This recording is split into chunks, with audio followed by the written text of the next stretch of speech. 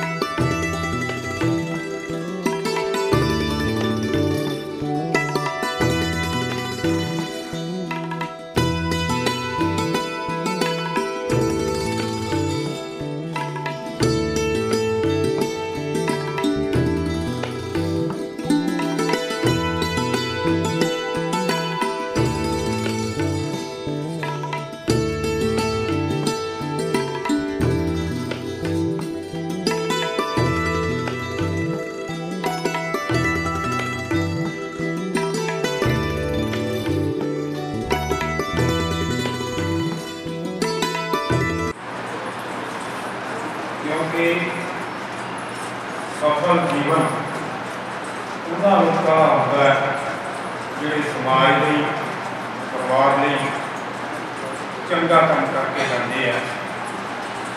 Master ਜੀ 1939 ਦੇ ਵਿੱਚ ਸਰਦਾਰ ਜਸਵੰਤ ਸਿੰਘ ਦੇ ਘਰ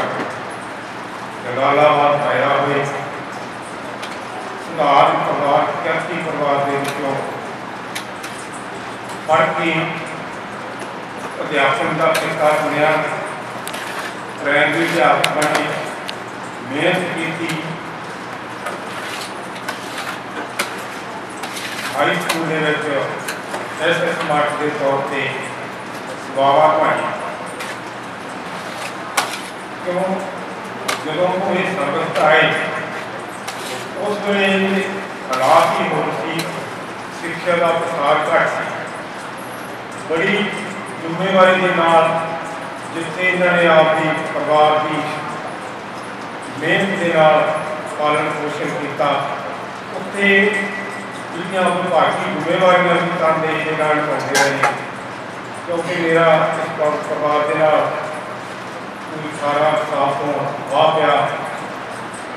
ਬਾਤ ਤੇ ਤੇ ਜੋ ਮੋਗੇ ਰਹਿਣ ਲੱਗੇ, ਉਦੋਂ ਤੋਂ ਅਸੀਂ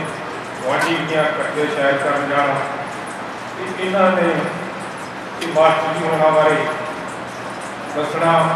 ਵੀ ਸਾਈਕਲ ਤੇ ਜਾਣਾ ਪੱਠੇ ਲਿਆਉਣੇ, ਪਸ਼ੂ ਪਾਲਣੇ, ਸਾਨੂੰ ਵੀ ਪੜਾਉਣਾ ਆਪ ਹੀ ਇਹਨਾਂ ਨੂੰ ਕਹਿਣਾ ਵੀ ਆਪਾਂ ਮਿਹਨਤ ਕਰੀਏ ਇਹ ਜਿਹੜੇ ਅਧਿਆਪਕਾਂ ਦਾ, ਇਹ ਜਿਹੜੇ ਸਮਾਜ ਸੇਵੀ ਬੰਦੇ, ਤਾਂ ਐਸੇ ਦੇ ਸਮੇਂ ਵਿੱਚ ਕਰੇ ਜਾਣਾ ਬਹੁਤ ਹੀ ਸਮਾਜ ਦੇ ਘਾਟੇ ਵਾਲਾ ਹੈ। ਕਿਉਂਕਿ ਜਿਸ ਤਰ੍ਹਾਂ ਦੇ ਹਾਲਾਤ ਹੁਣ ਬਣੇ ਆ, ਸਮਾਜ ਦੇ ਵਿੱਚ ਜਿਹੜੀ ਸਿੱਖਿਆ ਉਹ ਕਿਸ ਤਰ੍ਹਾਂ ਦੀ ਹੈ ਇਹ ਹੀ ਸਿੱਖਿਆ ਜਿਹੜੀ ਹੈ, ਕਿਵੇਂ ਦੇਣੀ ਹੈ ਅੱਗੇ ਅਧਿਆਪਕ ਦੇ ਵਾਸਤੇ ਵੀ ਆਪਾਂ ਆਪ ਦੇ ਬੱਚੇ ਨੂੰ ਆਪ ਦੇ ਸਟੂਡੈਂਟ ਸੰਸਥ ਨੂੰ ਵੀ ਕਿਹੇ ਦੀ ਸਿੱਖਿਆ ਦੇ ਕੇ ਉਹਨਾਂ ਨੂੰ ਕਿਸ ਤਰ੍ਹਾਂ ਦੇ ਬੰਦੇ ਬਣਾਉਣਾ ਹੈ ਪਾਰਕ ਦੇ ਵਿੱਚ ਜਾਂਦੇ ਹੁੰਦੇ ਸੀ, ਇਹਨਾਂ ਨੂੰ ਵੱਡੇ ਵੱਡੇ ਬੱਚਿਆਂ ਨੇ, ਜਵਾਨ ਬੱਚਿਆਂ ਨੇ, ਜਿਨ੍ਹਾਂ ਦੀ ਦਾੜੀ ਕੀਤੀ ਹੋਈ, ਉਹਨਾਂ ਨੇ ਵਧੀਆ ਖਿਲਾਉਣੇ ਤੇ ਪੁੱਛਣਾ ਵੀ ਇਹ ਇਹ ਇਹ ਪੜਦਾ ਰਿਹਾ ਹੈ। ਇਹ ਮੇਰਾ ਸਟੂਡੈਂਟ ਆ ਮਾਸਟਰ ਹੋਣਾ ਨੇ ਕਹਿਣਾ ਤੇ ਉਦੋਂ ਨਾ ਆਪ ਦੇ ਬੱਚੇ ਭਾਵੇਂ ਡਿਪਟੀ ਕਮਿਸ਼ਨਰ ਲੱਗ ਜਾਣ। ਪਰ ਗੱਲ ਹੈ ਜੇ ਅਧਿਆਪਕ ਦਾ ਸਟੂਡੈਂਟ ਕਿਤੇ ਆ ਕੇ ਬੁਰੀ ਹੱਥ ਹੁੰਦਾ ਨਾ, ਤੇ ਉਹ ਫਿਰ ਪ੍ਰਮਾਤਮਾ ਆ ਜਾਂ ਉਸ ਬੰਦੇ ਨੂੰ ਪਤਾ ਹੁੰਦਾ ਅਧਿਆਪਕ ਇਹ ਐਡਾ ਵੱਡਾ ਰੁਤਬਾ ਹੈ, ਜਿਹੜਾ ਇਹਨਾਂ ਨੇ ਬਖੂਬੀ ਨਾਲ ਨਿਭਾਇਆ। ਕਿਉਂਕਿ ਸਮਾਜ ਦੇ ਵਿੱਚ, ਸਮਾਜ ਦੀ ਬਿਹਤਰੀ ਲਈ ਸਿਰਫ ਤਿੰਨ ਬੰਦਿਆਂ ਮੌਕਾ ਹੁੰਦਾ। ਇੱਕ ਅਧਿਆਪਕ ਸਰਪੰਚ ਤੇ ਇੱਕ ਜਿਹੜੇ ਭਾਈ ਸਾਹਿਬ ਗ੍ਰੰਥੀ ਕਹਿ ਲਓ ਜਾਂ ਪੁਜਾਰੀ ਕਹਿ ਇਹਨਾਂ ਜਿਹੜੀ ਇਹਨਾਂ ਨੇ ਸੇਧ ਦੇਣੀ ਹੈ, ਉਹਦੇ ਵਿੱਚੋਂ ਸਮਾਜ ਨੇ, ਉਹਦੇ ਵਿੱਚੋਂ ਜਿਹੜੇ ਚੰਗੇ ਸਮਾਜ ਨੇ ਉਤਪੰਨ ਹੋਣਾ ਪੈਦਾ ਮਾਸਟਰ ਜੀ ਉਹਨਾਂ ਨੇ ਇਹ ਆਪ ਹੀ ਬਹੁਤ ਜ਼ਿੰਮੇਵਾਰੀ ਨਿਭਾਈ। ਜ਼ਿੰਮੇਵਾਰੀ ਪਰਿਵਾਰਕ ਤੌਰ ਤੇ ਵੀ ਬਹੁਤ ਨਿਭਾਈ। ਇਹਨਾਂ ਦੇ ਚਾਰ ਬੱਚੇ, ਚਾਰੇ ਬੱਚੇ ਸਿੱਖਿਆ ਵਿਭਾਗ ਦੇ ਵਿੱਚ। ਮਾਸਟਰ ਹੁਸੈਨ ਸਿੰਘ ਜੀ ਲੈਕਚਰਰ ਹੈ ਗੁਰਸ਼ਬਦਪਾਲ ਜੀ ਜਿਸ ਮਾਸਟਰ ਹੈ ਇਹਨਾਂ ਰਾਣੀ ਸਾਇੰਸ ਮਾਸਟਰ ਹੈ ਬਾਕੀ ਦੋ ਬੇੜੀਆਂ ਵੀ ਟੀਚਰ ਹੈ, ਇੱਕ ਇਹਨਾਂ ਦੇ ਦਮਾਦ ਜੀ ਜੋ ਰਿਟਾਇਰ ਹੋਏ ਇੱਕ ਡਾਕਟਰ ਸੀ, ਉਹ ਦੁਨੀਆ ਤੋਂ ਚਲੇ ਗਏ। ਜਾਣੀ ਕਿ ਆਪਾਂ ਪਰਿਵਾਰ ਵੱਲੋਂ ਪੱਖ- ਪੱਖੋਂ ਸੋਚੀਏ ਬਹੁਤ ਹੀ ਵਧੀਆ ਆਪਦੀ ਜ਼ਿੰਮੇਵਾਰੀ ਨਿਭਾ ਕੇ ਗਏ। ਉਹ ਸਾਡੇ ਲਈ ਆਪਣਾ ਆਦਰਸ਼ ਹੈ। ਸਾਡੇ ਲਈ ਇੱਕ ਉਹਨਾਂ ਦਾ ਅਹ, ਦੇਖਿਆ ਜਾਵੇ ਤਾਂ ਇੱਕ ਨਮੂਨਾ ਦੂਜੀ ਗੱਲ ਸਮਾਜ ਸੇਵਾ ਦੇ ਤੌਰ ਤੇ। ਜਿੱਥੇ ਉਹ ਪੜ੍ਹਾਈ ਦੇ ਤੌਰ ਤੇ ਸਿੱਖਿਆ ਦੇ ਤੌਰ ਤੇ ਇੰਨੀ ਮਿਹਨਤ ਕਰਦੇ ਰਹੇ ਉੱਥੇ ਸਮਾਜ ਸੇਵਾ ਦੇ ਵਿੱਚ ਵੀ ਉਹਨਾਂ ਨੇ ਕੋਈ ਘੱਟ ਦਿਲਚਸਪੀ ਨਹੀਂ ਦਿਖਾਈ। ਸੇਵਾ ਮੁਕਤੀ ਹੋਣ ਤੋਂ ਬਾਅਦ ਜਲਾਲਾਬਾਦ ਗੁਰਦੁਆਰੇ ਦੀ ਸੇਵਾ ਕਰਦੇ ਰਹੇ, ਉੱਥੋਂ ਦੇ ਖਜ਼ਾਨਚੀ ਦੇ ਤੌਰ ਤੇ ਸੇਵਾਵਾਂ ਨਿਭਾਈਆਂ। ਕਿਉਂਕਿ ਇਹ ਦੱਸਦਾ ਬੰਦੇ ਵੀ ਅੱਜ ਦਿਨ ਆ ਵੀ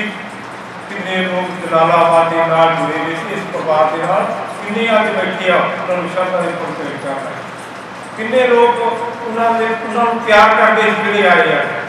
ਕਿ ਜਦੋਂ ਇੱਥੇ ਆ ਗਏ ਥੋੜੇ ਸਮੇਂ ਦੇ ਵਿੱਚ ਤੇ ਇੱਥੇ ਸਾਡੇ ਦਸ਼ਮੇਸ਼ ਨਗਰ ਦੇ ਪਾਰਕ ਚੱਲਦਾ ਪਾਰਕ ਦੇ ਸਰਗਰਮ ਮੈਂਬਰ ਬੇਟੀ ਦੇ ਰਹੇ। ਉਹਨਾਂ ਨੇ ਉਦਮ ਕਰਨਾ ਵੀ ਜਾਂ ਕਿਸੇ ਨੂੰ ਕਹੀਏ ਆਓ ਵੀ ਆਪਾਂ ਪਾਰਕ ਦਾ ਸਾਫ਼ ਸਫ਼ਾਈ ਕਰਕੇ ਕਮੇਟੀ ਦੀ ਸਹਾਇਤਾ ਕਰੀਏ, ਆਪ ਦੀ ਸਹਾਇਤਾ ਕਰਦੇ ਰਹੇ। ਬੜੀ ਸਿੱਧਤ ਨਾਲ ਗੱਲ ਦੇਖਣ ਵਾਲੀ ਹੈ ਵੀ ਇੱਕ ਹੱਥ ਟੂਟੀ ਹੁੰਦੀ ਸੀ ਤੇ ਜੋ ਪਾਰਕ ਦੇ ਵਿੱਚ ਜਾਂਦੇ ਸੀ ਨਾ, ਤੁਰੇ ਜਾਂਦੇ ਜੇ ਕਿਤੇ ਲਿਫਾਫਾ ਡਿੱਗਿਆ ਕਾਗਜ਼ ਡਿੱਗਿਆ ਉਹਨੂੰ ਚੱਕਣਾ ਚੱਕ ਕੇ ਡਸਟਬਿਨ 'ਚ ਪਾਉਣਾ ਉਦੋਂ ਪਤਾ ਲੱਗਦਾ ਸੀ ਇਹ ਲੋਕਾਂ ਦੇ ਦਿਮਾਗ 'ਚ ਸਮਾਜ ਪ੍ਰਤੀ ਔਰ ਸੰਸਥਾ ਪ੍ਰਤੀ ਕੋਈ ਸੇਵਾ ਭਾਵਨਾ ਹੈਗੀ ਆਦਰਸ਼ ਹੈ, ਜੀਵਨ ਇਹਨਾਂ ਦਾ ਸਾਡੇ ਤੇ ਆਹ ਤੋਂ ਦੁਨੀਆ ਜਦੋਂ ਆਪਾਂ ਇਹਨਾਂ ਦੇ ਪਰਿਵਾਰ, ਇਹਨਾਂ ਦੀ ਪਰਿਵਾਰੀ ਵੱਲ ਵੇਨੇ ਆ ਤਾਂ ਤਾਂ ਇਹ ਹੌਸਲਾ ਬਣਦਾ ਵੀ ਵਾਹ, ਪਰਮਾਤਮਾ ਇਹ ਜਿਹੀਆਂ ਸ਼ਖਸੀਅਤਾਂ ਦਾ ਇਹ ਦੁਨੀਆ ਤੋਂ ਭਾਵੇਂ ਠੀਕ ਆ ਉਮਰ ਆਪਾਂ ਕਹਿੰਦੇ 80 ਸਾਲ ਦੀ ਹੋ ਗਈ। ਪਰ ਇਹ ਤਾਂ